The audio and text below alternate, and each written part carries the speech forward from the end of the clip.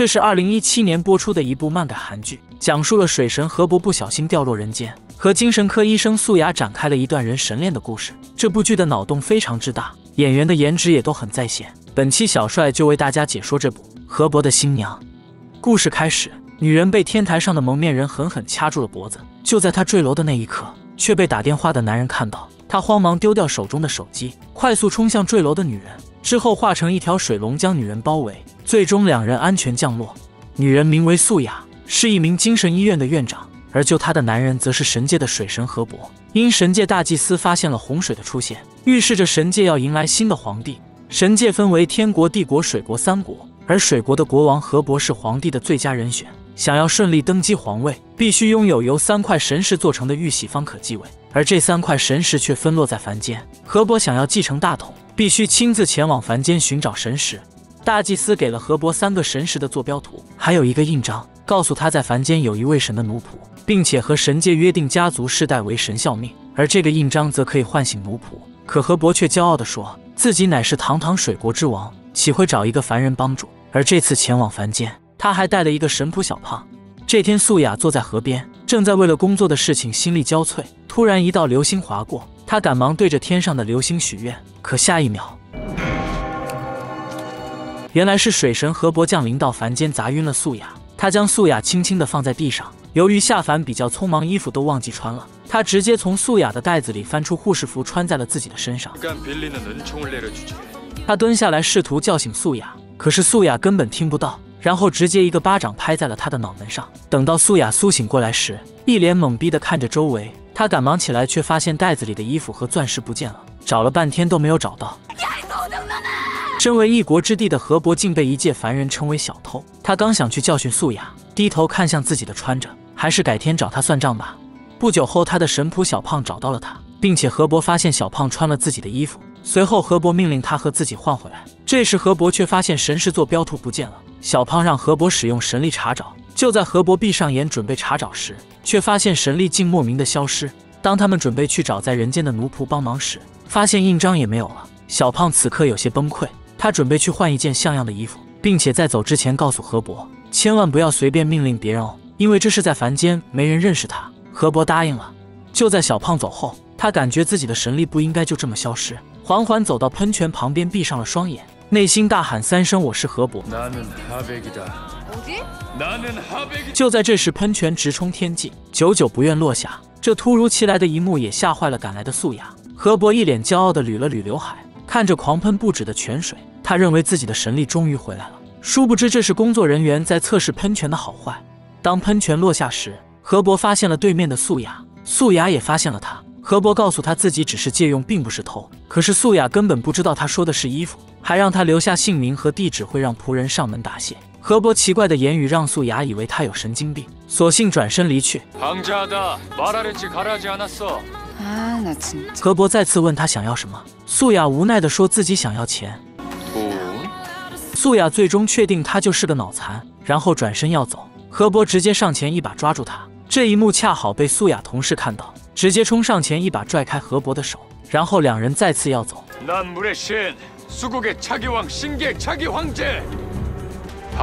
可是神这件事谁听了都感觉他脑子有点毛病。就在两人准备回去的时候，男人再次回头，并且给了他一张精神病医院的名片。不久后，他的神仆小胖找到他。何伯说他恢复了神力，可是他不知道，刚刚的那一面其实是工作人员在测试喷泉的好坏。然后他准备施展神力变几块金子的时候，最后他们只能住进了充气城堡里。第二天，他们乘着农民伯伯的三轮车来到了可以联络人间的神门。他们想通过神门找到奴仆的信息，可是这里一片废墟，没有任何线索。这时，素雅赶了过来，并说这是自己祖先留下来的。小胖笑了。河伯顿时也恍然大悟，原来素雅就是他在人间的仆人。之所以素雅不认识河伯，是因为他体内的血液还没有觉醒。他决定用自己这该死的魅力征服素雅。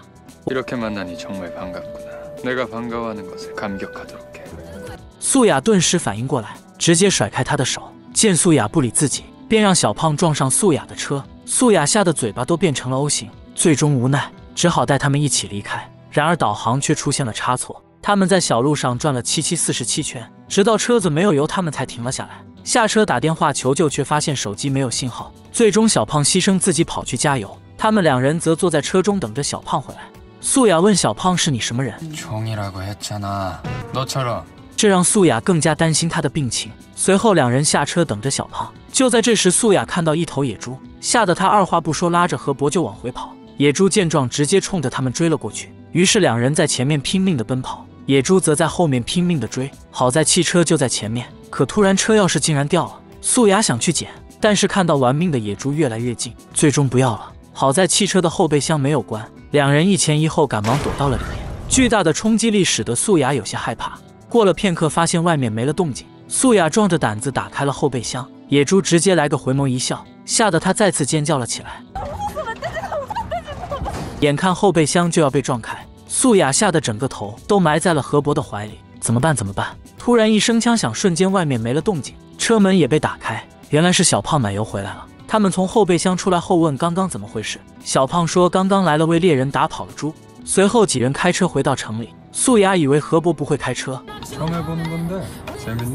素雅结巴的问他：“你没有驾照吗？”他说：“驾照是什么？可以吃吗？这还得了？无证驾驶。”素雅直接大吼让他停车。何博邪魅一笑，一脚油门踩了下去，然后把车停在路边。几人下车后，素雅拿过钥匙准备丢下他们回家。这时候何伯说出了他们家族为神效命的事情，可是素雅根本不信。何伯见这样还是没有唤醒素雅，决定用最后一招。他迈着帅死人不偿命的步伐，一步步走向素雅。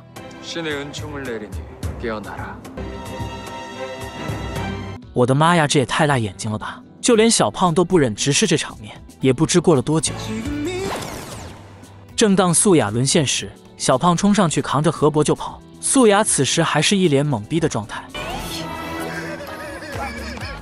何博想去解释，却被小胖拉住，并告诉他：“你现在过去会被扇耳光的。”素雅回到家之后，久久不能平复，就连照镜子都会出现他们接吻的画面。另一边的何博可就惨了，因没有地方去，只能再次睡在充气城堡里。第二天，小胖把何博带到了滑板比赛场，求何博参加比赛，赢得奖金，这样才能在人间存活。何博本不想参加，但是小胖一直嘟嘟个不停，只好大显身手。他看了一眼别人的玩法，便立马心领神会，只因为他是神。然后走到主持人旁边，说他要所有的奖项。然后学着刚刚的参赛选手，直接帅气的接过滑板，朝着比赛场地走去。素雅也赶了过来，一番惊艳的操作，惹得观众尖叫声不断。就在这时，何博发现了素雅。素雅为了不让何博找到自己，直接开溜。谁知何博立马逃离比赛，追了上去。素雅见状，拼命的奔跑着。就这样，两人你追我跑。素雅跑进一个地下通道。何博感到被眼前的一幕惊呆了，只见一群大妈在打太极，殊不知素雅就藏在其中。何博扭着头在查找。演出结束，大妈们大步向前，可是何博站在原地不动，被大妈一顿训斥后，直接被扒拉了一边。这难道就是传说中的社交牛逼症吗？然后两人再次回到充气城堡里，真是竹篮打水一场空，奖金没拿到，奴仆也没找到。小胖抱怨一段时间后。何博准备去找素雅，然后给了小胖素雅的名片。两人根据名片上地址打了辆车。何博看着司机的车，要求司机下来，自己要开他的车，并说这是他的荣幸。下一秒，两人就这样被司机丢在了马路上。此时此刻，我想替小胖说一句：真是遇上了猪一样的队友。另一边的马路上，一个老人正在过马路，眼看红灯马上到了，这时一个小伙子准备帮助老人，却被老人委婉的拒绝。没多久，又来个女人。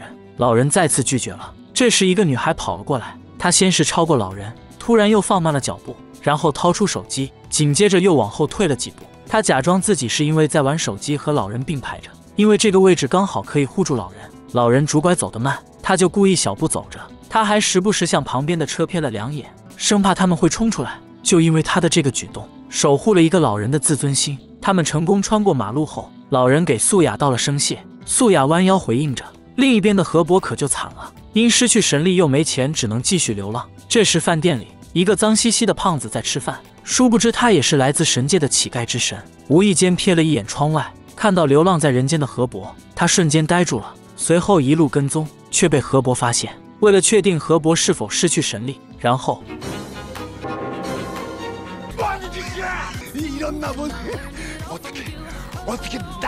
何伯气得咬牙切齿，知道何伯失去神力，并扬言何伯马上就要大祸临头，然后拔腿就跑。自从被起神亲了一口之后，何伯就有了饥饿的感觉。他看着对面吃火腿的小男孩，我的妈呀，真香呀！小胖也发现了，问他是在看小孩吃东西吗？何伯虽然说自己没有看，但是眼睛却一直盯着小男孩。他生气地问小胖：“为什么不坐出租车？”小胖把钱掏出来，可怜地说：“不够了。”无奈的他叹了口气。这时他看到旁边的女人在看手机，他以为上面的人是五罗。女人到站后下车，何伯竟然也跟了出去。地铁内的小胖正在看小男孩吃东西，突然发现旁边的何伯不见了。他当想出去，门却关上了。就这样，何伯看着小胖独自坐着地铁走了。这时，一个地铁站的一个精神病患者发现了何伯，他似乎感觉到了何伯是神的身份，然后买了很多食物给何伯。何伯看着眼前的食物，不断和自己内心做斗争，因为他认为神是可以不吃饭的。这该死的饥饿感，简直伤到了他神的自尊。可是看着眼前的鸡腿，又不自觉地咽了咽口水。当男人把鸡腿放到他手里时，随后男人拿出手机拍了张合照，准备发朋友圈。这下总有人相信自己见到神了吧？然后他又问何伯奥特曼能否拯救世界。可是此时的何伯脑子里只有鸡腿，口水也止不住的往下咽。另一边，素雅正在寻找这个男人。原来他是素雅的精神病患者。这时他看到了患者发的朋友圈，找到了这里。为了不让何伯发现自己，拿着报纸躲在了一旁。此时何伯告诉他，天上根本没有奥特曼。男人却问电视上奥特曼怎么都可以拯救世界。男人也彻底被激怒。何伯缓慢的站起来走向男人，告诉男人自己河伯的身份。可是男人根本不信他。得知奥特曼不能拯救世界，那活着还有什么意思？便一头跳了河里。他在河里疯狂地挣扎着。素雅看到后却不敢下水，因为她小时候跳河自杀过，对水有一定的恐惧。但是看到患者在河里拼命地呼唤自己，怎么办？怎么办？眼看男人就要沉入湖底。他管不了那么多，却被河伯拦了下来，并告诉素雅拿好自己的鸡腿，千万不能搞丢了。然后一个猛子跳入河中，把男人救了上来。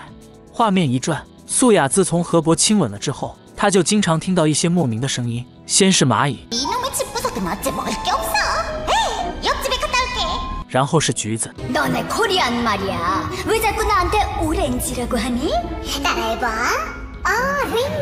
可恶的是，竟然能听到马桶唱歌。素雅每天都睡不好，吃不好，几乎到了崩溃的边缘。最终受不了的她找到了何博。何博告诉她，如果还不接受自己是神的奴仆的话，这样的情况会一直持续下去。然而素雅还是不相信，世界上怎么可能有神的存在？可是当她回到办公室，又和仙人掌吵了起来。同事真的是往枪口上撞呀！吓得同事又跑回了房间。这时候，素雅又开始和仙人掌吵了起来。突然，她意识到自己的行为怎么跟个神经病似的。为了缓解压力，她参加了同学聚会，不料却遭到同学的羞辱，甚至还把她的衣服给撕破了。可是这个女人还对素雅不依不饶。幸好何伯及时出现，挡住了她。他告诉女人，素雅是自己的奴仆，想要折磨她，必须经过自己的允许。女人最终无奈，只好离开。何伯看着素雅可怜的模样。脱下衣服，将自己的外套披在了她的身上，然后他们打车来到了一家手机店。为了让素雅报答自己刚刚的搭救之恩，让他给自己买一部手机。随后，他把自己寻找五罗的事情告诉她，可是素雅根本不信。然后他们坐在河边的椅子上，盯着上面的电子屏幕，等着五罗的出现。他问何伯：“既然你是神的话，是不是可以变出汽车、楼房，还有山川水木？”何伯却说：“我连金子都可以变出来给你。”素雅激动万分，要求他现在就变出来吧。何伯说：“现在不行，因为现在神力尽失。”就在这时，大屏幕上出现了五罗的身影，而他正是上界的水国之神。素雅这才知道，何伯要找的五罗是大韩民国的女神惠拉。可他并不认为惠拉会愿意见他。何伯却说他很乐意见自己，因为自己是他的王，他的君主。素雅有些无奈，只好送何伯去见了惠拉。何伯在临走的时候告诉他，只要自己见到五罗恢复神力，就给他变一屋子金子。说完便离开了。此时，五罗身为这个世界的明星，正准备化妆拍广告。可是五罗看到他并不是很开心。当何伯走向五罗时，却被保安拦住。任凭他怎么呼唤，五罗都装作一副没有听见的样子，继续化着他的妆。何伯忍无可忍，直接和保镖干了起来。可是这几个人类怎么可能是神的对手？只见何伯轻松把几人甩开，毕竟现在的他失去了神力。最终几人合力按住了何伯。这时听到消息的素雅也赶了过来。直接冲了上去。此时的素雅终于发挥了她仆人的作用，却不料被保安一巴掌推到一边。何伯见状直接爆发，可这一切都被五罗看在眼里。他一步步向着对面的两人走来，此时就连空气都静止了一样。他看了一眼素雅，然后又看向何伯，拉着素雅的手，二话不说上来就是一巴掌。素雅看到便和武罗吵了起来，最后给了他张精神医院的名片，拉着何伯便离开了。他问何伯真的想见什么，何伯表示一定要见到。下一秒，素雅便拨通了一个神婆的电话，随后何伯就被带到了神婆的面前。可是神婆的这些小技巧骗骗凡人可以，可他面对的是真神何伯。事后，何伯非常生气的找到素雅，他觉得素雅就是在玩弄他，不信任他，他自己不相信何伯也就算了，居然随便找个人来羞辱自己。这次他彻底的对素雅失望了。大吵一架之后，素雅便离开了。当他下楼时，却被一个蒙面人给挟持了。此时的小胖正在楼下等着何伯，一抬头却看见素雅正在被一个蒙面人推下楼。他赶忙打电话给了何伯，告诉素雅正在和别人打架，还快要被推下去了。于是就上演了开头的一幕。何伯化身为一条水龙，将素雅救下。这次素雅看着何伯，久久说不出话来，索性就直接晕过去了。此时的小胖正在为何伯的神力恢复高兴不已。这次他们终于不用再挨饿了。然后他们再次回到充气城堡里，小胖把石头塞到何伯手中，让他用神力变成金子。小胖失望地坐在了地上。何伯看向旁边的素雅，此时苏醒的素雅以为刚刚的一切都是梦，而何伯捏着他的腮帮子，他才彻底苏醒过来。然后他又躺下去，认为这还是梦，直到他听到小胖说着神力怎么又消失的时候，他才确信刚刚的一切并不是梦。素雅难以置信发生的一切，吓得他直接撒腿就跑。当他走在路上，回想着何伯化身为龙救自己的场面，他感觉这一切都是自己的罪恶感引起的，因为他还是不敢相信神的存在。这时又想到今天推自己下楼的男人，感觉这个男人时刻在自己周围，吓得他拔腿就跑。心里越想越害怕，最后他只能邀请何伯二人住进了自己的家里。住进的第一天，就发现有个男人总是在他家徘徊，而这装扮和推素雅下楼的男人一模一样。就连白天的时候，这个男人也是鬼鬼祟祟的出现。这天，素雅带着何伯来路边买衣服，但是何伯因为不是名牌，很是不爽。老板得知后便说：“就你这完美的身材、明星的长相，穿啥都是名牌。”何伯这才露出了满意的表情。随后，他们一起吃米线，准备回去的时候。何伯再次发现这个诡异的男人。第二天，三人出来散心。素雅刚走，这个男人再次出现。他把一瓶水倒进发动机里，扭头又看了看身后，随后用扳手把控制阀拧开，然后又拧松了车轱辘的螺丝。他这是想用车祸致素雅死亡。可是他不知道这一切，何伯都看在了眼里，而且旁边的摄像头也拍到了一切。他刚想去抓住男人，但是他却停了下来，想到自己上次恢复神力是在素雅遇到危险的时候。但是素雅安全后，神力又消失了。他想赌一次，这次素雅遇到危险，自己的神力会不会彻底回来？就当他们准备回去时，何伯抢着要开车。素雅知道他没驾照，让他下来，但是何伯却说自己是神。素雅最终无奈坐到了后排。就在他们走后，男人却暗自窃喜。一路上，何伯危险驾驶，道路上限速七十，他却直接飙到了一百八十，并且还连环超车，疯狂的秀着车技，就算遇到红灯，也直接不管不顾。素雅这时候受不了了，要求何伯减速行驶。就在要减速的时候，却发现刹车失灵了，眼看就要撞上前面的车。何伯再一次急转弯，此时马路上的车辆越来越多，危险一步步逼近，怎么办？怎么办？为了避免伤到路人，他把车开进了一个封闭的隧道里。小胖也吓得抓紧了扶手。这时候他准备用神力控制车子停下来，可试了几次都没有用。他扭头看向吓哭的素颜，最终他的神力还是没有回来。眼看车速越来越快，前面已经无路可走，他急忙打开天窗，让小胖抓紧方向盘，然后他爬出天窗，站在车顶，伸出手给素雅。此时的素雅完全处在恐惧中，眼看危险就在眼前，他只能闭着眼相信何博。何博一把将素雅拽出车窗，两人站在车顶上，车子离危险越来越近。他一把将素雅抱了起来，并告诉他。神力终于再次归来，此时素雅还没回过神。就在这时，车子发生碰撞，导致爆炸。何伯一把将素雅护在身前，突然猛地回头，这才想起小胖还在车上。而小胖虽然有些狼狈，却也没有受伤。回到素雅的家，何伯只看了一眼电视上厨师的手艺，瞬间就学会了，然后起身来到厨房，拿起围裙，帅气的系在自己身上。这一刻，素雅都有些沦陷。随后撸起袖子，拿起鸡蛋、青椒、芹菜。用水冲洗着芹菜、西兰花、包菜，不一会就全部洗好了。接下来就是各种切切切，这刀工没有单身二十年的手速都切不了那么完美，就连鱿鱼都切得好有食欲的感觉，倒油的姿势都这么帅气。然后就是各种翻炒，我的天，这颠锅的姿势真的是帅到掉渣。果然做饭的男人都是比较帅气的。最后再撒上黑芝麻，一场丰盛的晚餐就轻松搞定。小胖在阳台摆放桌椅，素雅则负责仪式感。何波把刀叉块摆放整齐，经过几人的完美配合，再点上几根蜡烛，beautiful，一场丰盛又浪漫的晚餐就搞定了。这时何博把切好的牛排递到了素雅的旁边，素雅看着何博，内心居然是心动的感觉。这让 我也被搞得莫名其妙，看着他们笑，我竟然不自觉的也跟着笑了起来。第二天，三人准备找神石的守护者飞廉拿回神石，在开门的瞬间，素雅吓了一激灵。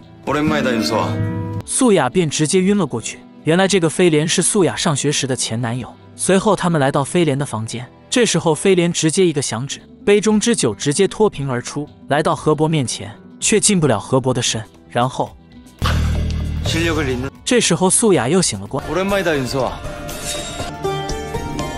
真的是不争气啊！这时候何伯问飞廉索要神石，可是飞廉却说只要何伯能从五罗那里拿到神石。他就将神石交给他。这时候素雅又醒了过来，飞廉再次和素雅打着招呼。我的妈呀，又晕了过去。我就想问你来是晕着玩的吗？就连何博都看不下去了。飞廉更是嘲讽何博居然会肚子饿，何博却说这是成为王所经历的劫难。不久后，他们背着素雅离开了。把素雅送回家后，他们又约见了五罗。可是五罗竟然说了和飞廉一样的话，只要飞廉给他，他便会给。说完就匆忙跑进了车里。此时的飞廉找到素雅，二话不说，强行把她塞进了车里。恰好这一幕被赶来的何博看到，飞廉和何博打着招呼，随后他便带着素雅离开。何博着急的在后面紧追不舍，可是失去神力的他怎么可能追上车？此时的飞廉正在用神力闪电般的开着车，素雅拿出手机想报警，飞廉直接一个响指，手机就掉落在地上。几秒钟后，他们来到一个天桥上，素雅下车蹲在地上呕吐不止。飞廉则用自己的神力飞到了天桥的顶端，施展了他呼风唤雨的能力，然后从天桥上飞了下来，给了素雅一瓶红色的药水，并说这瓶药水可以让何博忘记寻找神石的事情，事后会让他变得非常有钱。素雅听后有些心动的接过药水，飞廉笑了。然而下一秒，素雅说：“虽然何博神力时有时无，但失去神力的神依然是神。”而此时的何博正坐着五罗的车急速赶来。我想说，神开车都这么快的吗？不一会，他们就赶到了现场。下车后，何博让素雅过来。正当素雅过去时，飞廉一个摆手，素雅直接飞到十米开外。紧接着，地面开始出现巨大的裂痕，然后再一个响指，天空立马乌云密布。在神的面前，素雅就是一个蝼蚁的存在。而飞廉做这一切，就是为了测试何博是不是只有素雅遇到危险，神力才会回来。然后飞廉又一个响指。天空中便下起了暴雨，素雅此时到了崩溃的边缘，何博怒火达到了极致，拳头也紧紧的握住。小胖此时也看不下去了，为了继续激怒何博，飞廉再次一个响指，雨下的越来越大。由于素雅对水的恐惧，他已经快坚持不住了。小胖非常担心素雅，直接给飞廉跪了下去。可是同样身为奴仆的他，飞廉怎么会理睬？眼看素雅越来越危险，何博的神力此时还没恢复，就当飞廉准备再次一个响指的时候。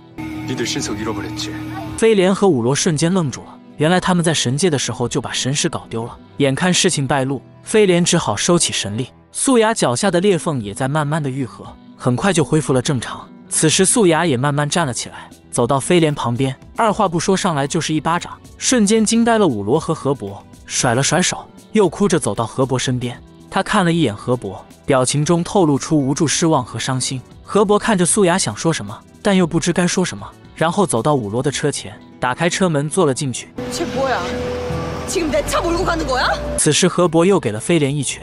到了晚上，素雅来到妈妈的坟前，和妈妈诉说心中的委屈。可是她再也听不到妈妈安慰的话语。就在她拔着坟头上的草时，突然听到异常的声音，她吓得赶忙站起身来。엄마설마그영영화에서처럼굳이뭐나타날필요까지는없어간다当她回到家。却发现何博正在门口等着自己， 两人四目相对，却又不知说些什么。何伯一把拽住素雅的手，并说：“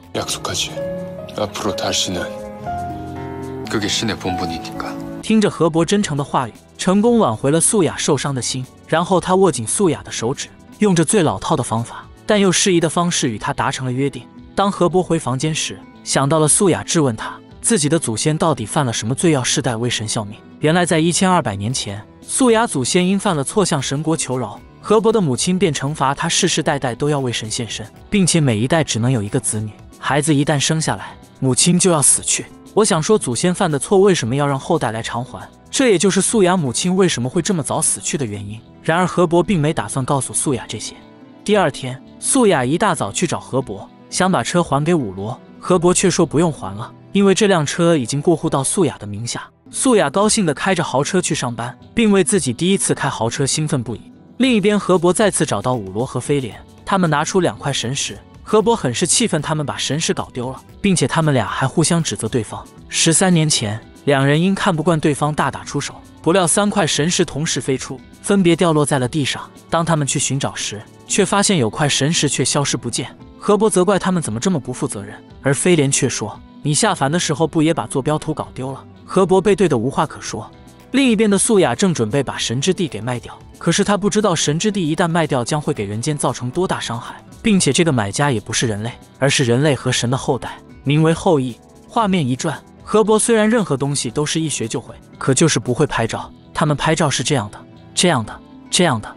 最终两人不欢而散。虽然没一张好看的，但是看着照片，两人还是露出了幸福的笑容。素雅问他是不是找到另一个神石守护者朱仝，拿到神石就要回去了。何伯说如果水国没有自己，将会发生错乱。然后几人开车准备去吃饭。这时，素雅的神婆朋友打电话，告诉她引荐一个人给她，几人便来到了神婆这里。神婆拉着素雅到了一边，告诉她自己遇到了一个很准的大师，有可能就是传说中的神。不管素雅同不同意，直接拉进屋里。神婆向大师介绍了素雅的情况，素雅根本不信，因为她身边就有一个真神。然后起身就要离开，这时候大师直接把他家里的情况说了出来。素雅这次相信了，大师告诉素雅说他家里来了一个杂神，必须把他赶走。你的事业、爱情才会顺通。可素雅却说他不是杂神，而是真的神。就在这时，何伯走进来，大师拉开窗帘一看，直接吓了一跳。原来这个大师就是上次亲吻何伯的朱启仁。朱启仁结巴的让何伯饶自己一命，趁素雅不注意将其推开，慌忙逃了出去。小胖看到后居然没反应过来，直到何伯出来后，两人快速追去。朱启仁疯狂逃跑，神婆突然开门。朱启仁一把推开他，可巧不巧的是，小胖一把将其接住。此时的小胖不知如何是好。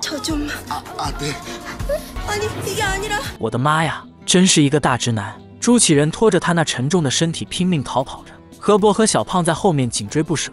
跑到一个楼道里，何伯直接一个弹跳，朱启仁直接一个平面。果然没有神力的何伯还是不行的。谁说胖子体力不行？你看这朱启仁栏杆翻的，直接摔在地上。不过神的体质就是好。何伯此时也追了上来，直接一个腾空，人帅也就算了，跳楼的姿势都这么帅，我就有点受不了了。两人再次开启你追我赶的模式，最终朱启仁逃到了一个天台上，而下面就是高楼万丈。何伯此时也追了上来，大喊让他滚过来，可是朱启仁怎么会屈服？然后爬到天台的边缘，直接一跃而下。何伯赶忙上前查看，何伯气得要死要死的，肚子此时也咕噜咕噜的叫个不停。肯定是体力消耗的太厉害，然后几人一起来到饭店吃饭。小胖说何伯是因为上次被朱启仁吻了才饿了。素雅问你们抓到他打算怎么办？小胖说自然是解除何伯的饥饿感。素雅恍然大悟道：何伯说自己宁愿饿死也绝不会那样，回到神界自然就可以解除。吃完饭后，三人回到车上，素雅向何伯询问飞廉的行踪，他想拿回丢在飞廉车上卖地的合同。何伯说不用去拿了。然后拿出撕成七八半的合同给了素雅，素雅非常气愤地对着何伯大吼着，因为他不知道这卖地的钱对素雅有多么重要。何伯说卖什么都可以，神的土地不能卖。素雅生气地下车离开。就当他准备过马路时，一辆飞速行驶的大卡车直面撞来。等到何伯赶到时，却发现素雅消失不见了。他歇斯底里地大喊着。就在他转头的瞬间，发现了对面的飞廉正抱着素雅。原来是飞廉用神力救了素雅一命。飞廉把素雅放下后，此时素雅还在为何伯撕毁合同的事生气，然后打了辆车找到后羿。他拿着撕毁的合同，希望他能签字。后羿知道素雅肯定遇到了难处，但是由于印章在公司，所以只能明天才能签约。随后，素雅和后羿一起修剪树木。另一边，河伯和武罗来到了神之门，调查当年朱仝和神石消失的原因，不料却发现一块带血的石头。武罗拿到手中，用神力感知是人类的血，而人类所有的一切都会被神之地净化。奇怪的是，这滩血却完好无损。他们猜测这滩血肯定与神族有关，但是神又不会流血。为了得知真相，他们找到杂神朱启仁。他说，如果是无法消除人类的血迹，只有神界的那个人，而他们说的那个人便是具有毁灭力量的半人半神。两千六百年前，大祭司给他们讲过，由于神都是自然诞生的，无父无母，有的神为了想拥有自己的孩子，便和人类结合，生下的孩子同时拥有神和人类共性，他会像人类母亲一样生老病死，也会像父神一样不老不死，是一个循环永生的存在，而他的力量是具有毁灭性的，称之为火。飞廉问大祭司，他和河伯到底谁强谁弱？大祭司也无法回答出。另一边，后羿正在和一个盲人小女孩一起种花。就当后羿准备去接电话时，小女孩却大声哭喊了起来，说自己手臂上有一个虫子。后羿看到后羿，马上前一巴掌拍飞虫子，然后紧紧地将女孩搂入怀中安抚着。就在他们走后，虫子却自燃了起来。这天，武罗带着河伯到后羿的酒店来用餐时，后羿迎面走来和他们打着招呼。这时候，河伯注意到了后羿，他就是大祭司口中的半人半神。武罗给他们介绍彼此，而当后羿伸出手和河伯打招呼时，河伯看了看他的手。并没有打算搭理他的意思，场面瞬间极度尴尬。后羿微微一笑，转身离去。正好这时素雅走了进来，后羿便和素雅闲聊了几句。何伯看到他们开心的样子，便一脸生气的走了过去，来到后羿面前。素雅刚想说什么，何伯抬手打断了他，然后上前一步凑到后羿的耳边。后羿此时内心慌的一批。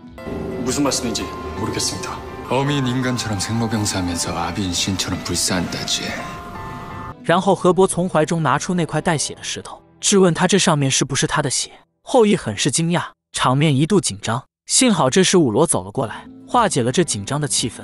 后羿也借此离开。何伯将这件事告诉了五罗和飞廉，他们都为此感到惊讶万分。真是该打！这时候五罗斥责何伯为什么在自己没有神力的时候拆穿他，这样很是危险。可河伯却说，只有这样才能让他露出真面目，而他很有可能与神石的失踪有关。画面一转，飞廉一个响指，这辆车自动旋转方向盘，紧接着再一个响指，油门加到一百二十码，直面撞向对面的男人。后羿看到后，并没有要躲避的意思，而他们做这一切，就是为了测试后羿到底是不是半神。就在要撞上的时候，武罗使用自己的神力改变了车的方向，因为他怕错杀了一个人。这时后羿也发现了他们，飞廉和后羿对视一下。便潇洒的离开了。武罗将刚刚的事情告诉了河伯，河伯知道后便让武罗约后羿见一面。另一边，小胖蹬着他的游艇，正在向神婆游去。自从上次那场邂逅过后，神婆便情不自禁的爱上了小胖。虽然小胖有点不愿意，但是谁让神婆比较强势呢？直接霸王硬上钩。与此同时，河伯如约见到了后羿，他发现后羿胸口有什么东西，然后一把将他的衣服撕开。哇塞，好暴力啊！果然身上有一团火的标记。显然后羿不喜欢这么暴力的河伯。河伯质问他，为什么朱仝的标志会在你的身上？后羿一把抓住河伯的手臂。河伯质问朱仝到底在哪？后羿却说自己不知道。河伯说朱权的标志是地球的象征，就算你得到这个标志，你也不可能成为地球的神。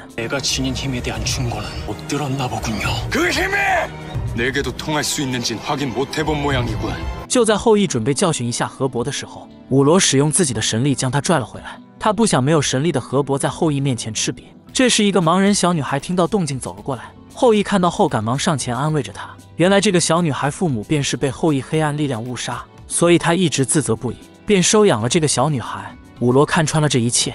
第二天，他们用小女孩要挟后羿见一面，但是并没有伤害她。等到后羿赶到时，小女孩已经回家了。飞廉质问后羿朱仝的标志为何会在他的身上。后羿为了他们不再纠缠自己，便交代了。原来在他刚离开神界的时候，突然电闪雷鸣，紧接着朱仝便扑向自己，不料却被一道天雷击中，标识也莫名的跑到自己身上。当时害怕极了，便没有管不省人事的朱仝便跑掉。他们听到后，对后羿的做法非常气愤不已。另一边，河伯穿着花不溜秋的衣服来接素雅，他看向对面的素雅，正拿着笔看着什么，他瞬间愣住了，因为地图中有闪烁的坐标。他赶忙跑到素雅旁边。一把抢过他手中的地图，而这个地图正是他遗失的神石坐标图。原来在他下凡的时候与素雅撞在一起，坐标图因此藏进了素雅的笔中。他们根据坐标位置寻找神石，却发现一个男人在挖着什么。何伯大声训斥着他。当男人转过头看着他时，何伯愣住了，因为这个男人正是他们一直寻找的神识守护者朱仝。第二天，武罗来找何伯。这个女人到底有多恐怖？是神见了都闻风丧胆的存在，更何况这些外面的散仙，这步跑得比兔子还快。他见了自己的情敌素雅，便用自己神的身份来给他施压，说她是神界万众瞩目的水国第一女神。可是素雅根本不鸟他，五罗气得说不出话。看到五罗吃瘪，惹得飞莲一直忍不住想笑。随后几人一起等着朱仝醒来。这期间，暴躁的五罗又把他们训斥了一遍。另一边，后羿在花园施展自己的神力，可是当他碰到花的时候，花朵瞬间枯萎了。他很是难过，因为他的神力是具有毁灭力量的。恰好这一幕被子夜看到，他吓得赶忙跑掉了。可是后羿已经发现了他。身为人类的他，怎么可能相信刚刚看到的一幕？他以为自己一定是眼花导致的，然后找到后羿质问，把刚刚看到的一幕说了出来。后羿以为他看穿了自己。就在准备要杀了他的时候，愚蠢的想法这才保住了自己一命。可是后羿一时之间控制不住自己的神力，为了不让子夜发现，一把将他从身后抱住。可是子夜此时有些想多了，等到他控制住自己神力之后，便一把将他推开，然后便让子夜赶快离开。而此时子夜还没反应过来，便呆呆的走掉了。这时朱启仁找到了后羿，原来两人在神界就是老相识。朱启仁把何伯发现他的事告诉了他。就在朱启仁要走的时候，后羿叫住了他，并询问了有关素雅的事情。另一边的素雅正在和何伯一起散步，看到几个小朋友在玩荡秋千，赶忙上前指导他们秋千不是这样玩的，说着便自己演示了起来。先这样旋转转几圈，然后再慢慢的解开。然而下一秒，真的是大型的社死现场，就连小朋友都吓哭了。这一幕恰好被后羿看到。朱启仁猜测素雅就是神的奴仆，后羿听到很是震惊。第二天，秘书通知他要开关于土地收购的会议。这时他猛然想起素雅的地很有可能就是传说中的神之门，所以赶忙开车来到了神之门。下车后看着这熟悉的一切，想起了当晚就是从这里逃出来的，并且还受了很大的创伤，流了鲜血。他上前去寻找当晚流血的石头，才确定何伯拿的那块带血的石头是自己的。那这里一定就是神之门。他想起了在这里的点点滴滴，因为这块地就是他被神抛弃的地方。他笑了，但是笑声中包含了对神界的不满。突然被一个拳头打倒在地，原来是飞廉得知后羿要买神之门的事情才赶来的。他质问后羿是不是早知道神之门的事情，特意去接近了素雅。后羿说自己并不知情，可是飞廉并不相信他的话，于是他说了一些狠话：阴神的力量是拯救，自己的力量是毁灭，他要毁灭神国，并说朱仝的事也是自己做的。甚至嘲笑飞廉他们拿他无可奈何，然后便愤怒的离开了。飞廉将这件事告诉了何伯，何伯想到之前素雅说的话，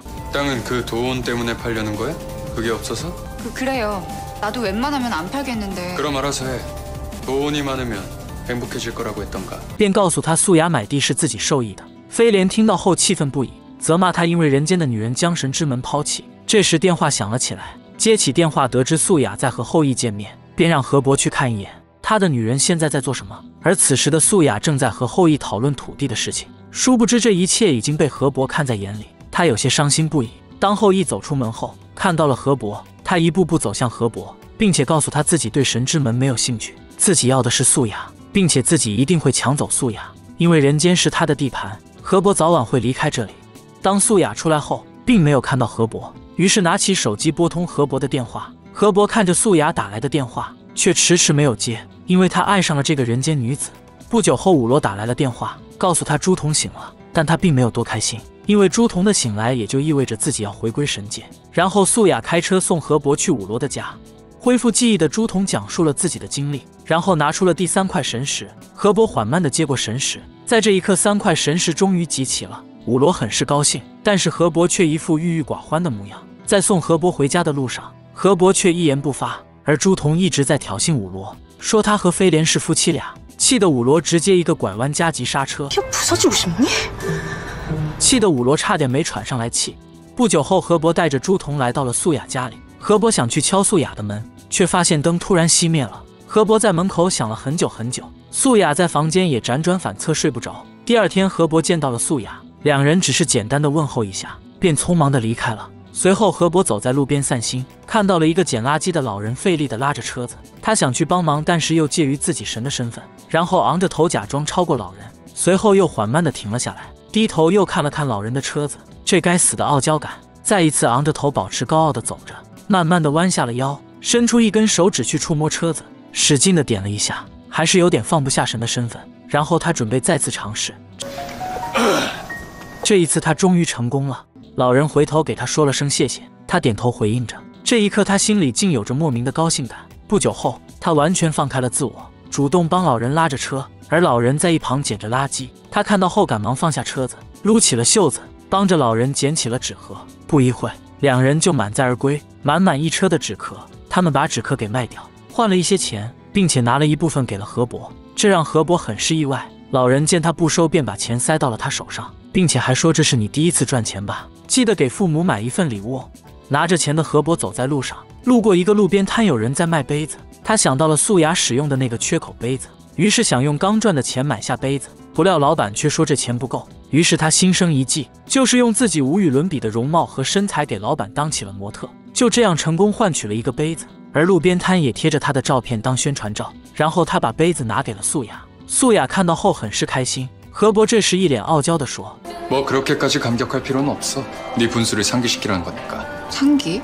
当他把杯子拿出来时，我去，还是个情侣杯，并且还幼稚的给他们起了名字。素雅听到后又好笑又感动。当他们出来的时候，素雅问他是不是又问小胖要的钱。何伯说自己刚刚打了两份工赚的钱，说完还拿出手机给素雅看了照片。我想说谁给拍的照呢？然后又从口袋里掏出自己当模特的照片。素雅得知后很是感动。到了晚上，后羿约素雅看病，等了很久，后羿都没来。何伯打来了电话，问他怎么还不回家。素雅说自己等一个病人。就在这时，后羿醉醺醺的走了进来。素雅惊讶的叫了声后羿，便挂断了电话。何伯知道后羿去找了素雅，内心很是不爽，问小胖要了钱，准备去医院找素雅。此时的素雅将后羿扶到沙发上，却发现后羿发烧了。由于喝了酒不能吃退烧药，于是脱掉他的外套，准备给他物理降温。突然，后羿一把紧紧抓住素雅。然后将她压在沙发上，失去理智的后羿将素雅当成了河伯。素雅叫了声后羿后，便清醒了过来，并且给素雅道了歉。素雅发现他手臂伤口正在快速愈合。后羿刚想解释什么，就在这时河伯闯了进来，看见这不忍直视的一幕，气愤的他上去就给后羿一拳。当他想打第二拳的时候，后羿一把抓住他的手臂，两人都恶狠狠地仇视着对方。后羿再次给素雅道了声歉，便离开了。素雅刚想去追后羿。却被何伯一把攥住他的手，两人大吵了一架。素雅想跟何伯解释，又突然意识到他们之间的关系根本没有必要做任何解释，于是一个人便伤心的跑了出去。就这样，素雅在雨中走了很久很久，她很是伤心。何伯不相信自己，无处可去的她来到了神婆这里。第二天，素雅回来时，却发现何伯在这里等了她一晚上。原来当时想回去的她，却发现门没有办法锁上，于是她就在诊所待了一晚上。何伯向素雅诉说了心中的感情。他希望素雅能成为自己的女朋友，但是素雅拒绝了。他虽然爱何伯，但是何伯马上就要回归神界了，这样的感情又有何意义呢？第二天，何伯想起昨晚素雅拒绝自己的事情，感觉很是丢人，自己竟然被甩了，而且是被一个人类女人给甩了，这可是两千八百年内的第一次，这让他越想越生气，越想越委屈，于是找到飞莲一起喝酒。所谓一醉解千愁，一杯杯喝感觉不过瘾，索性直接对瓶吹。飞莲从没见过这样的何伯，于是用手机给录了下来。不久后就开始和垃圾桶聊了天。这时几个小混混来挑衅他，飞莲继续平静的拍视频。不久后战争一触即发，飞莲看到河伯吃别忍不住想笑。失去神力的河伯很快就被几个混混按倒在地。只见飞莲一个响指，用神力控制着手机，然后帅气的走了过去。很快几个小混混就被打倒在地，河伯则在一旁鼓掌示好。随后，飞莲将喝醉的何伯丢给了素雅，便走掉了。当上楼时，一不小心绊倒了，何伯直接把素雅压在了身下。素雅想把何伯从自己身上移下去，奈何何伯比较重，愣是没有成功。最终费了九牛二虎之力才挣脱开来。小胖下班回到家后，便拿出自己蹬鸭子赚的钱，告诉何伯，问他有没有想吃的东西。然后小胖一脸开心的跑来吃饭。就在他坐下的时候，突然发现桌子上的杯子。素雅说这是何伯送给自己的。小胖惊讶的叫出来，然后扭头看向何伯。小胖越想越生气，我努力赚钱给你花，你却拿着我的钱去讨好别人，下班还不给我好脸色看，然后瞥了何伯一眼，饭也不吃便走掉了。何伯貌似也发现这点，然后端着饭来到小胖面前，让他趁热快吃。小胖爬起来，埋怨的看着何伯，然后穿着拖鞋，任凭何伯如何呼唤自己，头也不回的走掉了。真的是太让人伤心了。另一边，飞廉将视频给了武罗看，当他看到醉酒的何伯，他非常不理解。不明白何伯宁愿留在凡间做这些无聊的事情，也不愿意回到神界。第二天，何伯带着素雅去超市买了菜，两人回到家一起做着寿司。另一边，武罗再次翻看着视频，发现了何伯不愿离开人间的原因。武罗气愤地开着车来到素雅的家里，上来就对素雅一顿嘲讽。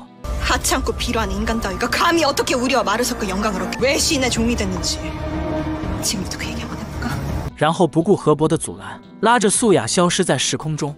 原来素雅的祖先乐宾是人类献祭给河伯的祭物。不料河伯很快爱上了这个女人，为了能得到永生，他背叛了河伯。水王母知道后，便下令处死了乐宾。因河伯最痛恨背叛他的人，所以便没有替乐宾求饶。皇后因此并没有解气，便把剩下的罪孽加到了乐宾的弟弟和孩子身上。而弟弟为了活命，承诺世世代代都将为神的奴仆。武罗告诉素雅，希望他能离开河伯。因为他不希望何伯历史重演。当素雅回来后，埋怨何伯为什么当时没有替乐宾说一句话。何伯听到后却生气的摔门而出。而素雅做的这一切，只是不想连累何伯，让何伯早日飞升神界。望着何伯离去的身影，他哭了。第二天，他们几人一起吃着早餐。何伯将手机还给了素雅，并且还告诉他衣服还有书籍之类的，让素雅自己看着处理。小胖突然意识到何伯要离开，此时素雅眼泪也在眼圈打转。他告诉素雅，不要天天只吃泡面，哪怕没有手艺，也要自己做饭吃。何伯让小胖先离开下，等小胖走后，他知道素雅昨天是为了让自己离开才说的那些话，可是自己还是忍不住伤心。然后何伯起身决定现在离开。素雅想要去送何伯，但是被何伯拒绝了，因为他怕自己会在最后舍不得离开。何伯离开后，素雅忍不住流下了泪水。她喜欢何伯，但是却强忍着没有说，她怕自己的爱会拖累何伯。看着何伯离去的背影。只能昂头不让泪水流出。何伯和小胖两人抵达神门，小胖先走了进去。何伯回头望向素雅家的方向，他不知道这次离别是不是永远。随后也消失在神门中。自从何伯离开后，素雅努力让自己恢复到以前的状态，她让自己非常开心，甚至还要打算去相亲。所有人认为她现在过得很好，可是她骗不了自己，她还在想念着何伯，甚至看见被何伯抱过的玩偶都要买回家，看着何伯用过的杯子，坐着何伯睡过的床。看着何伯看过的书，泪水不自觉打湿了书本。在这一刻，他终于忍不住了。那些不为人知的情愫在一点点占据着他的心房，甚至在上班的时候，都会幻想着何伯在和自己说话。可是，一转眼，何伯又消失了。另一边，子夜听后羿的秘书讲，后羿喜欢的是素雅，并不是他，于是非常生气的打电话告诉他爷爷，撤掉了素雅的诊所。第二天，管理局的人就开始来搬东西。就在这时，精神病患者马凤烈出现，并大声呵斥他们不要动。见他们不听话，直接就给他们干了起来。就是这个相信世界上有奥特曼的患者来伸张正义来了。不久后，他们就被关进了警局。素雅努力地为马凤烈辩解着，但是毫无作用。最终还是后羿来警局解决了这一切。后羿准备送素雅回去，但是被他拒绝了，然后拖着疲惫的身躯走了很远的路。这时后羿打电话问他到家了吗？两人聊着天，殊不知后羿一直在他身后守护着他。就在素雅转弯处看到前面的一幕。瞬间愣住了，手机也不自觉掉落在了地上。只见前面一个男人靠在墙角等着他下班。素雅看着何伯给自己准备的早饭，嘴角止不住的上扬。可是嘴硬的何伯说是因为自己饿了。素雅假装说不是给我做的，那我还是睡觉吧。何伯立马停止了动作。素雅接着说自己本身就不吃早餐。最终素雅投降了。不一会，一桌丰盛的早餐就做好了，貌似这早餐比晚餐还丰盛。然后两人坐了下来，看着满桌都是为自己准备的饭菜，素雅感动的有些想哭。何伯见状，拿起勺子，亲手放在素雅的手上，然后一脸深情的说：“快吃吧。”素雅乖巧的点着头。就在这时，门铃声响了起来，原来是后羿给素雅送钥匙来了。可是又不能将人拒之门外，于是。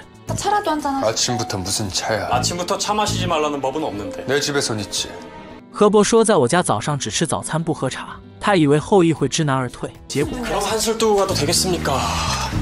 就这样一场男人之间的斗争开始了。后羿夸赞着素雅手艺真好，何伯说是自己做的，这个女人一根手指都没有碰。后羿意味深长的说：“是吗？”为了让后羿放弃素雅，便说了很多素雅的缺点。这个女人的手艺差得一塌糊涂，也会随便找个地方睡觉。后羿知道何伯的用意，但是自己怎么能输呢？于是将自己是诊所楼主的事情告诉素雅。素雅高兴的叫了出来，看到素雅这么开心的样子，哈哈哈！果然，恋爱中的男人都是幼稚鬼。吃完饭后，两人坐了下来，何伯让素雅端两杯茶水过来。不一会，素雅过来后，何伯看着茶杯说：“我要我的杯子。”还说他有一个专用的杯子，叫做龙龙，是自己打工送素雅的情侣杯。素雅说：“要不今天就用这个吧。”河伯尴尬的说：“你喜欢的话，我就用这个。”搞得素雅一脸懵逼。然后两人喝起了茶。因河伯说不过后羿，便说自己是王。后羿说自己有钱，并让河伯看看。在人间是钱重要还是王重要？在临走之时，后羿邀请素雅明天一定要来自己的农场。河伯听到后不让素雅去。这时后羿将违约金的事情提了出来，必须要尽快赚钱才能解除合约关系。说完便匆忙离开了。河伯得知素雅是因为违约金才和后羿走在一起，于是拨打了五罗的电话借钱，结果五罗直接给挂断了电话。又打电话给了飞廉，飞廉又被拒绝了，气得他要到神界再去算账。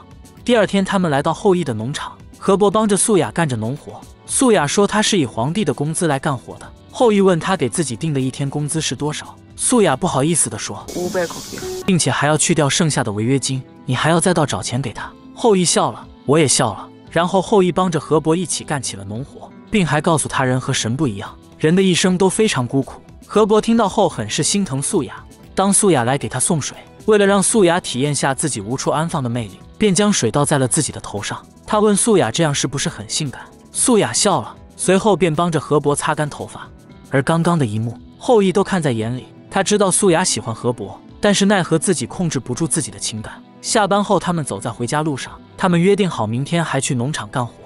这时发现五罗穿着一袭红裙来找河伯，并说自己要告诉他一个好消息，所以自己才会穿得这么隆重。河伯猜到了。当五罗将请帖放在河伯手上，说第六次红讯已经到了，河伯必须要回神界，并且在临走的时候还提醒了河伯不要忘记不回神界的后果。时间回到过去，女孩站在天桥上准备结束自己的生命。这时，她的父亲发现了这一幕，但是女孩已经做了必死的打算。父亲大声呼喊着跑过去，但是为时已晚。不会游泳的父亲冲入湖底，拼命游向自己的女儿，最终一把将她抓住，然后游到女儿的脚下，双手托住她的双脚。使出浑身的力气将女儿推向湖面，关键时刻女儿苏醒了过来，她拼命地游出水面。父亲看着醒悟的女儿，身体缓缓下沉，父亲就此闭上了双眼，最终也没有和女儿说上一句话，而他的手势还停留在救女儿的那一刻。素雅回想起这一切，内心悲痛万分，因为在她脑海中一直是自己游上来的，找了这么多年的父亲，竟然是为了救自己而死，这让素雅如何能接受？阿爸，阿爸。可是父亲再也听不到他的呼唤，他抓住河伯的裤脚，希望能救救他父亲。河伯蹲下来告诉他：“已死之人是救不活的。”素雅听到后悲痛万分，她感觉是自己杀了父亲。她站了起来，准备跳入湖中将父亲救出，但是被河伯一把拉住，因为就连河伯都没有办法将他父亲拉起来，何况他一个人类。河伯将素雅紧紧地拥入怀中，因为知道这将是他一辈子的阴影。另一边，朱仝告诉飞廉他们，素雅的父亲怎么都拉不起来。这让他们很是不解。而之所以他父亲形体保持的这么完好，是因为他身上有神的文章，但是又不敢将文章拿走，怕文章拿走的瞬间尸体直接会破碎掉。何伯将素雅哄睡之后，想起了他之前说过的话。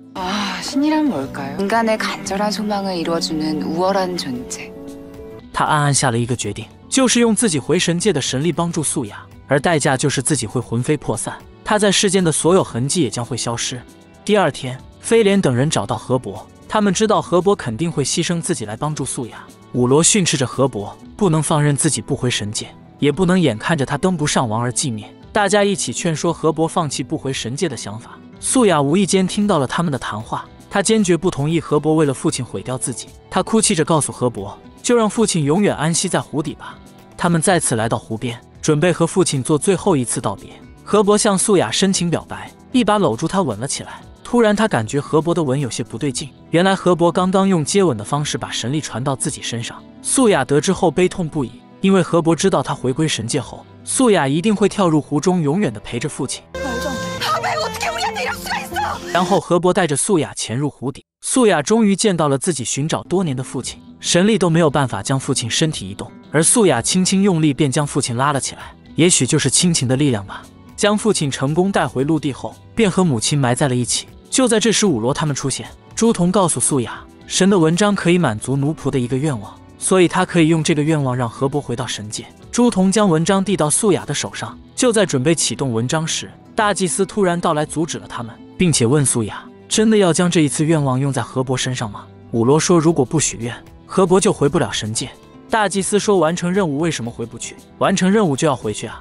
这时候河伯才反应过来，原来所有的一切都是对他的考验，其实就是要他明白，如果一个神连救一个人的能力也没有，如何会拯救苍生呢？河伯可以回神界了。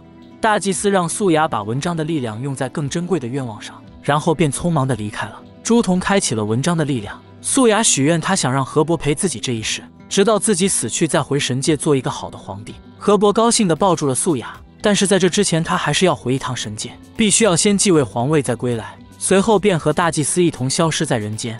时光飞逝，一转眼三年过去了，五罗和飞廉也走到了一起，但迟迟不见河伯身影。这天晚上，素雅回家时，突然看到一个男人在门口等着自己，而他正是消失已久的河伯。他开心地笑了。一步步走向对面心爱的男人，何伯告诉他，由于继位过程太复杂，所以迟了些。素雅笑着走上前，一把抱住这个让自己朝思暮想的男人，两人紧紧地拥抱在了一起。最终，有情人终成眷属，开启了没羞没臊的生活。感谢与小帅一同看完这部剧，我们下部剧再见。